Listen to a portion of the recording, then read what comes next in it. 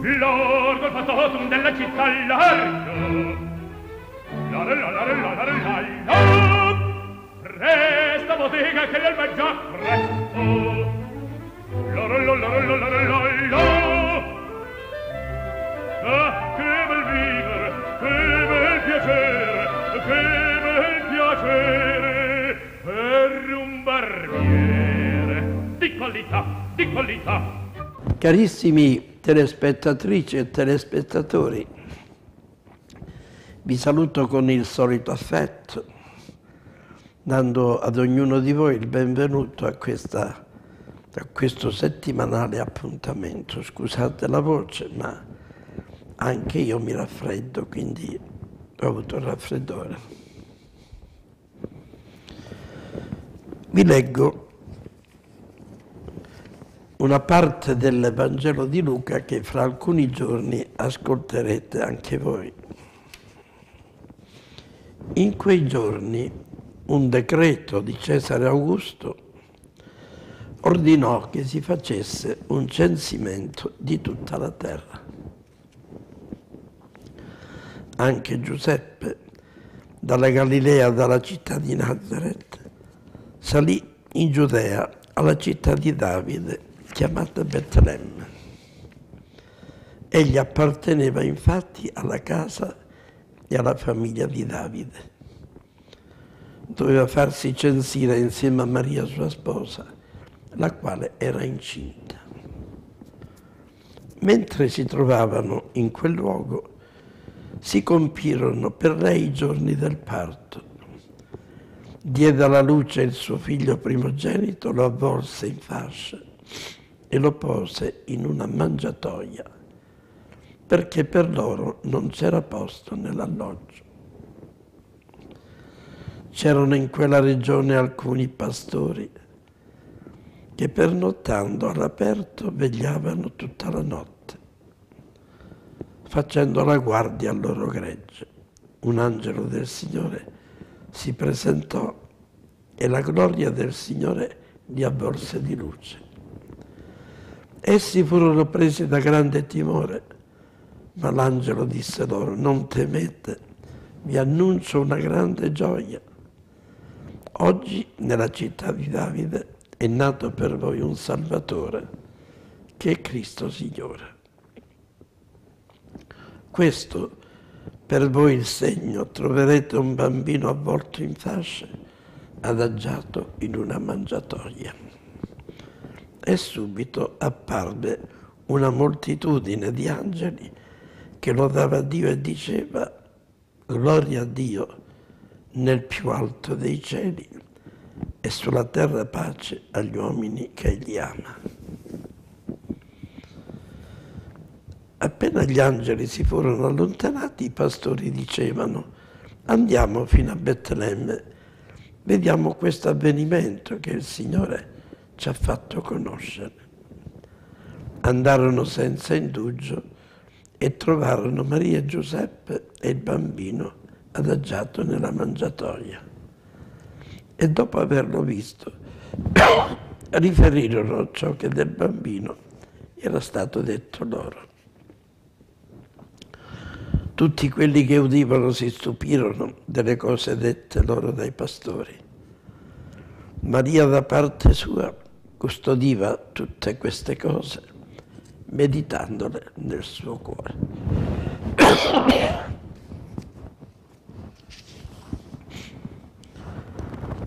Ed eccoci ancora una volta a rivivere nella memoria personale questa grande festa del Natale. Io per primo, oggi, prima di venire da voi, esaminando me stesso, comincio col dire che questo Natale è l'ottantesimo che io vivo nella mia vita. Perché essendo nato il 3 novembre 1927, 27, 87 anni fa, il giorno di Natale, avevo appena 49 giorni di vita. Per cui credo di non aver potuto, data l'età, pochi mesi, poco più di un mese, partecipare alla gioia che è stata tutta dei miei genitori non solo per il Natale che si celebrava, ma perché nella mia casa c'era stato il Natale con la mia nascita. Poi anche gli anni seguenti sarà stato un po' più o meno la stessa cosa, a meno che fin dai primi anni io non sia stato come ultimo della casa, più piccolo della casa, prescelto da portare il bambino nella grotta del presepio di casa.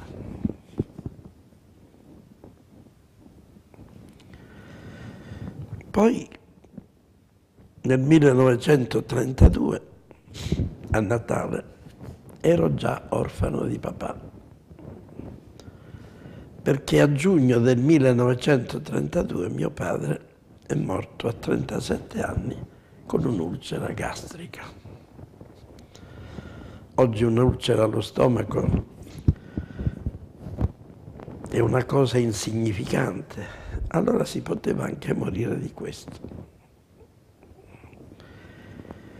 E io sono convinto, ripensandoci poi lui che non aveva mai sofferto di stomaco. Quell'anno era dal 1929 in poi, sono stati anni di miseria, di preoccupazione, di fallimenti, come lo sono questi che stiamo vivendo. Perché questa terra d'America, che per alcuni è il paradiso terrestre, ma è un po' la fonte dei guai del mondo, nel 1929 è fallita. Sono fallite le banche, è fallito un po' tutto questo loro vivere disordinato, senza senso. E purtroppo questi loro fallimenti si ripercuotono anche nel nostro ambiente, come è successo anche adesso. Perché dico purtroppo il dollaro ancora costituisce la moneta principale di scambio, per cui quando rotola da quella parte, rotola per tutto ciò che lo circonda e porta scompiglio, fallimenti, sofferenza, dolore. E mio padre è morto di questo dolore.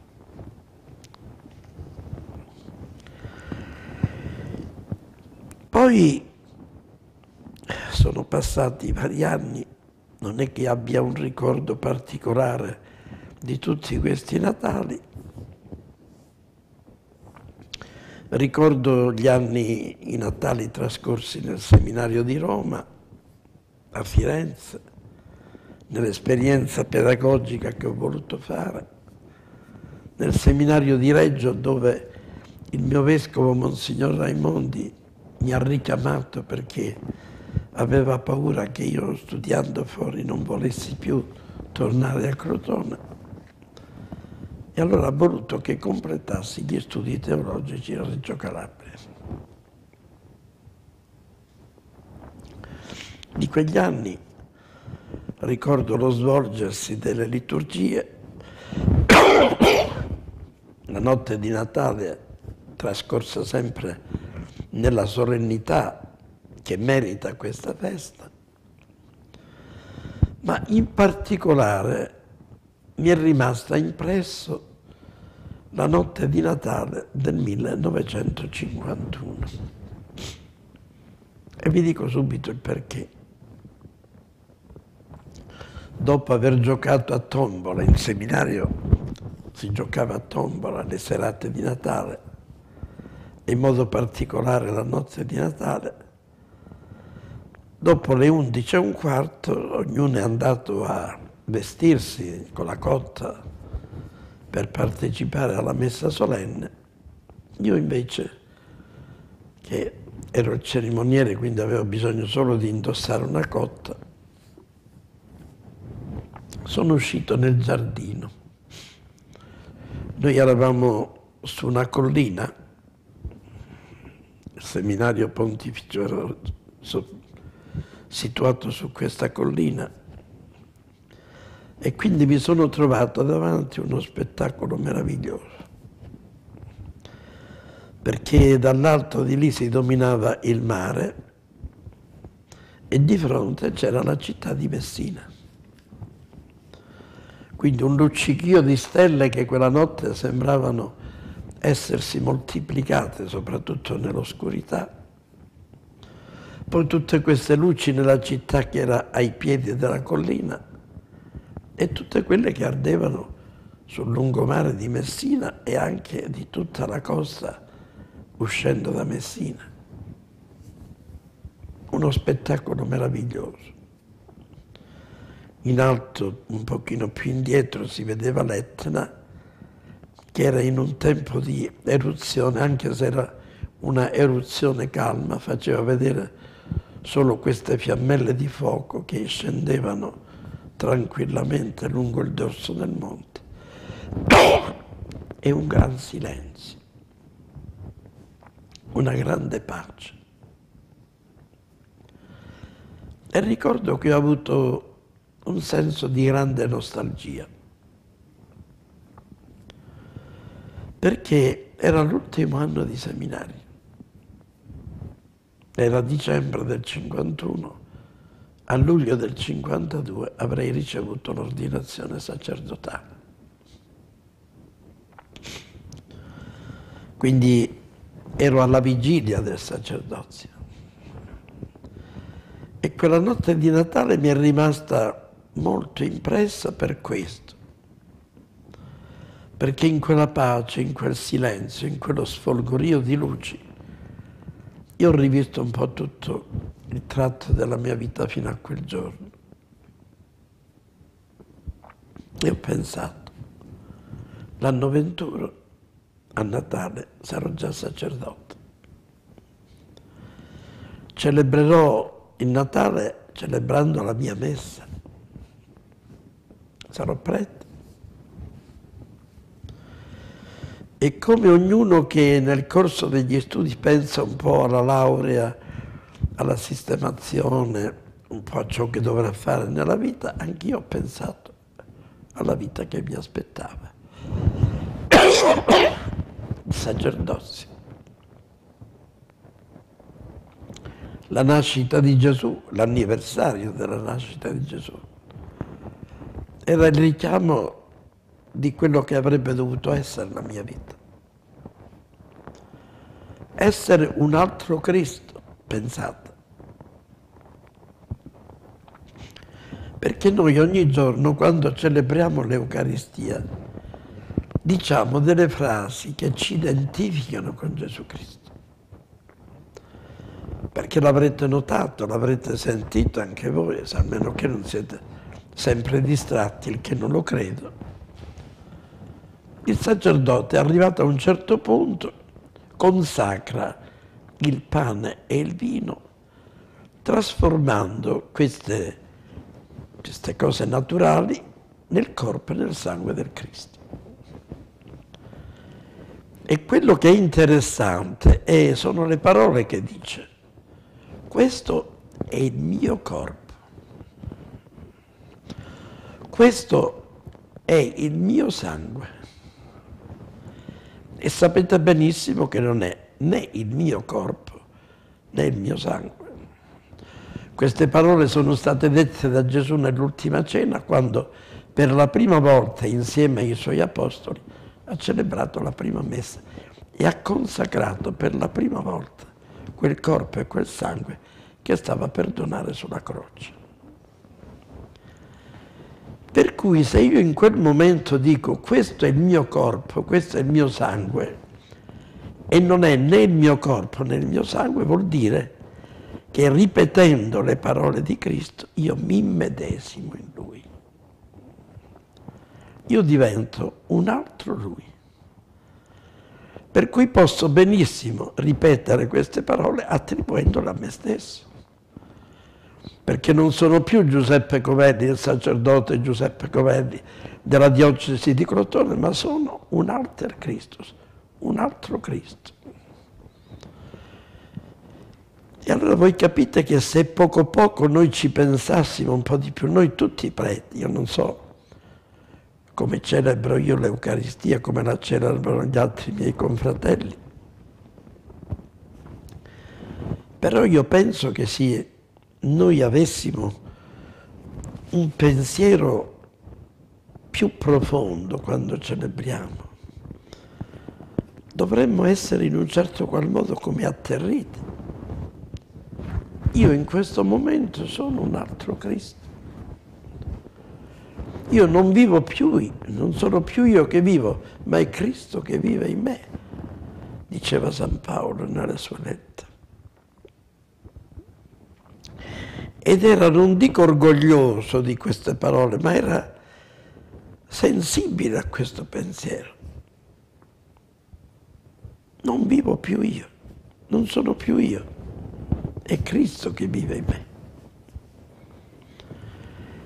E questa trasformazione che avviene in ogni celebrazione dell'Eucaristia, per uno che sta attento, che sente un po' quello che dice e che non parla a vanvera senza pensare quello che dice, dovrebbe essere qualcosa che ci atterrisce. Io in questo momento sono Gesù Cristo con quello che deriva da questo pensiero. Se sono Gesù Cristo non posso essere più un uomo qualsiasi, con i suoi difetti, con le sue manchevolezze, con i suoi peccati, con le sue leggerezze.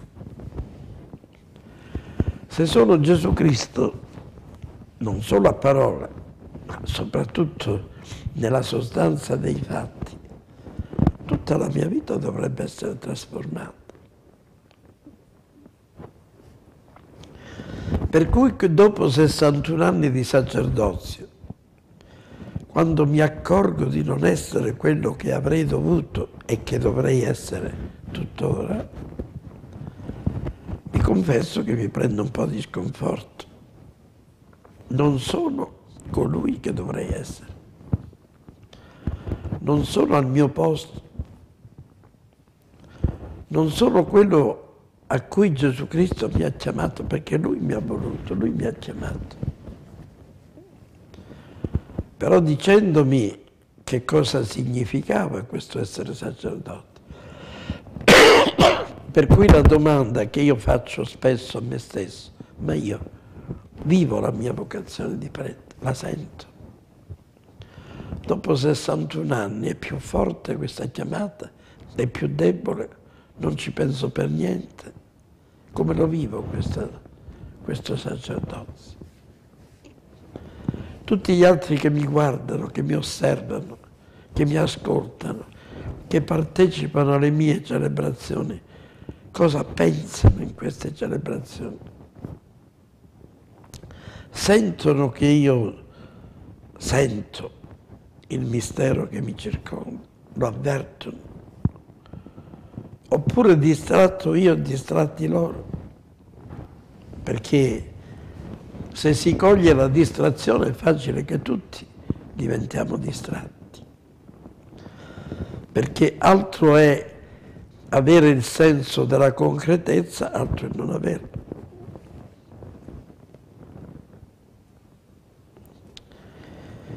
E adesso, ecco qui, siamo nel, mille, nel 2000 e 13 sta per scoccare la fine dell'anno che ci porterà nel 2014.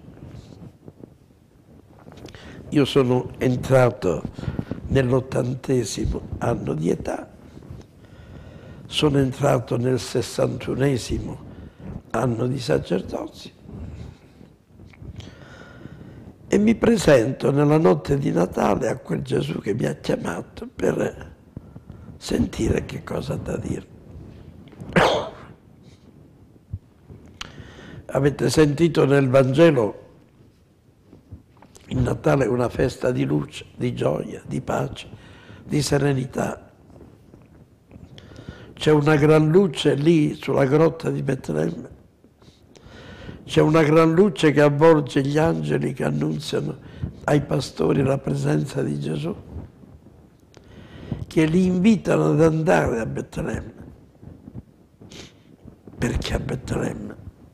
È perché ogni tanto ai nostri governanti succedeva una volta e succede ancora oggi. Vengono alcuni pruriti. L'imperatore Augusto voleva sapere quanti sudditi lui avesse nel grande impero romano. Ecco. Dopo anni di guerra, di conquiste di assoggettamento di altri popoli all'impero di Roma, lui aveva il desiderio di sapere ma quanti sudditi ho io, quante, quanta gente mi vede come l'imperatore, ubbidisce alle mie leggi, mi venerano come una divinità, perché c'era anche questo. L'imperatore, diventando imperatore, è come se diventasse un altro dio dei pagani. E questi poveri disgraziati di Giuseppe e Maria, disgraziati perché erano poveracci, si sono messi, si sono dovuti mettere in cammino, andare dalla Galilea fino alla Giudea, che sono parecchie decine di chilometri, perché il censimento si faceva andando nella città di origine, non personale, ma familiare.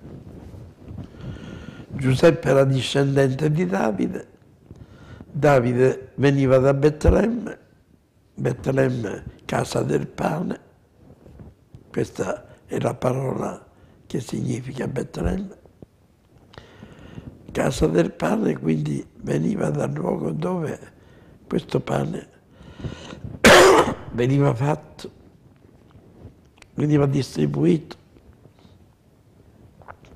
Quel pane sotto le cui specie Gesù prenderà consistenza e si farà cibo per ognuno di noi. C'è tutta una trama misteriosa perché questo luogo diventerà la sorgente della nostra salvezza. E questi due poverini si trovano in un grande imbarazzo, perché arrivati a Betlemme, fatto tutto ciò che dovevano fare per il censimento eh, la Madonna si accorge che è arrivato il tempo del parto. E allora cercano. Nel Vangelo abbiamo letto non c'era alcun posto per loro nell'albergo. Guardate però che di alberghi a Betlemme non ce n'era nemmeno uno. C'era il cosiddetto caravanserraglio che era un grande portico, al centro del quale c'era un grande spiazzo. Allora tutti quelli che viaggiavano nello spiazzo all'aperto mettevano gli animali, le mucche, se si erano portate appresso mucche per il mercato, la cavalcatura asino-cavallo con cui erano venuti e nel portico circostante si sistemavano i pellegrini, i viaggiatori. Allora capite bene il senso delle parole del Vangelo.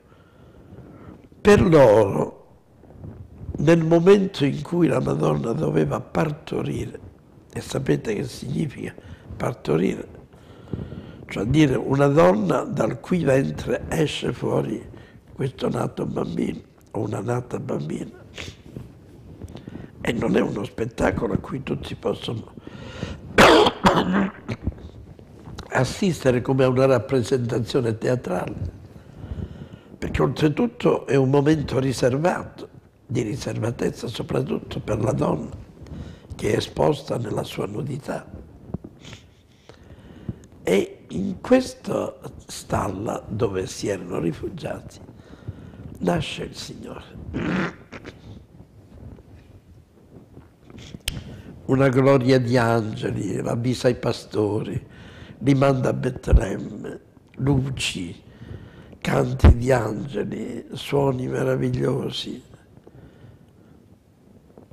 Nessuno si chiede che è successo. Anche gli apostoli, spinti dai, dagli angeli, dicono andiamo a vedere cosa è successo a Betlemme, andiamo a vedere. E arrivati lì, ecco la fede. Trovano un bambino in una mangiatoia. Sapete cos'è la mangiatoia? È quel recipiente pieno di paglia in cui gli animali vanno a mangiare quel fieno che viene loro offerto dal padrone. Io penso che la Madonna lì a Nazareth aveva già preparato un po' di fasce, un materassino, sia pure poverissimo per questo bambino che doveva nascere, però per partire in fretta non mica portato tutto appresso. Dove la metteva sta roba? Quindi sono partiti così e il parto li ha sorpresi. Forse pensavano di poter ritornare indietro. E invece la mano di Dio che accompagna tutti noi li ha indirizzati verso questo luogo e lì è nato il Salvatore del mondo, Betlemme. Ecco qui noi in questa ricorrenza, in questa, dico bene, ricorrenza del Natale, è come se per ognuno di noi apparissero degli angeli e ci dicessero, ecco qui, vi do una buona notizia. È nato un bambino che sarà il Salvatore del mondo. Gioite, rallegratevi, fate festa, andate, lo troverete.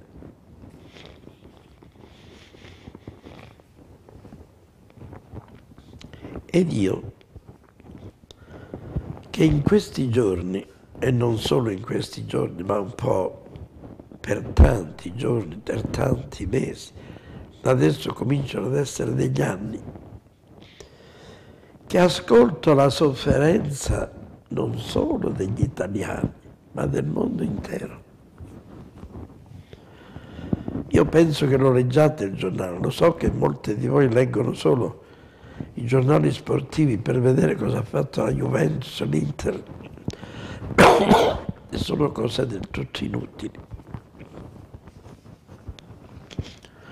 Perché quando io penso che c'è gente che muore di fame e uno per tirare quattro calci a un pezzo di cuoio, che è un pallone, guadagna miliardi all'anno, non è che mi piaccia tanto. Ditemi quello che volete, condannatemi, criticatemi, ma per me è un'assurdità.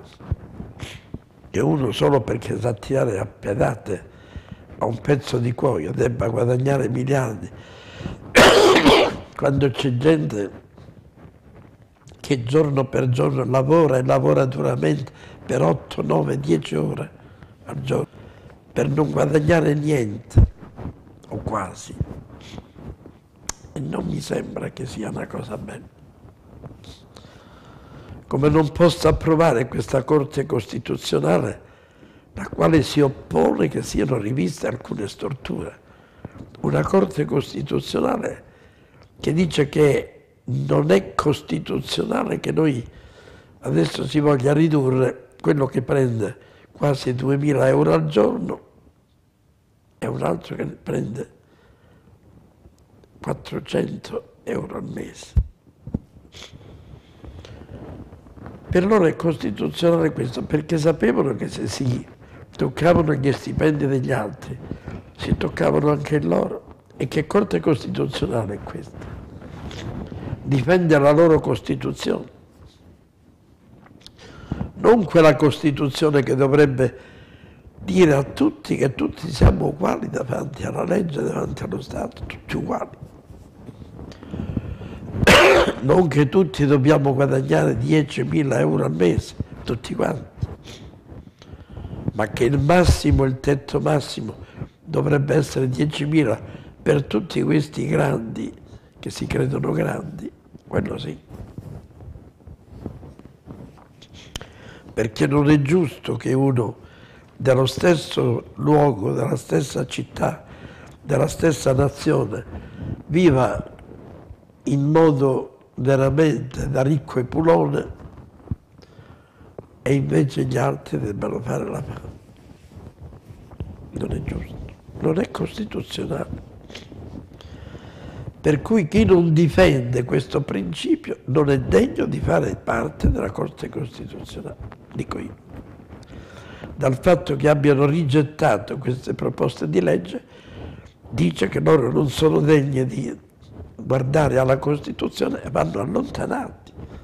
Sono gente pericolosa che difende dei diritti abusivi. I cittadini dello Stato sono tutti uguali davanti allo Stato, non ci può essere una sperequazione così alta tra il morire di fame e sguazzare nell'oro. Non ci può essere. E chi difende in nome di una Costituzione queste cose non è degno di fare il costituzionalista. Va allontanato. Pericolo pubblico. Pericolo pubblico. Siccome loro godono di queste cose, che poi quando finiscono questi anni di servizio continuano per tutta la vita ad avere questi trattamenti di riguardo, l'auto blu, la scorta, tutte, tutto a carico nostro.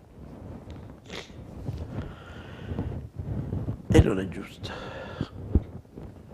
Per cui io penso che questo Natale, per molta gente, ma moltissima gente, non sarà Natale.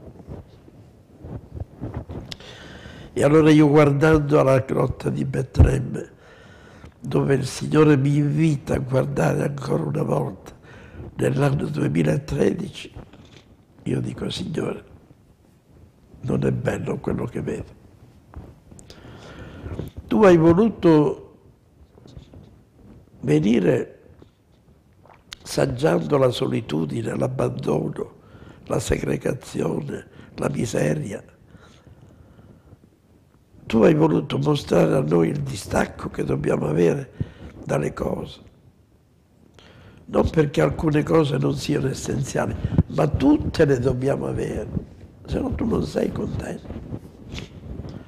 Non può il padre essere contento che alcuni figli sguazzino nella ricchezza e altri muoiono di fame, non può essere.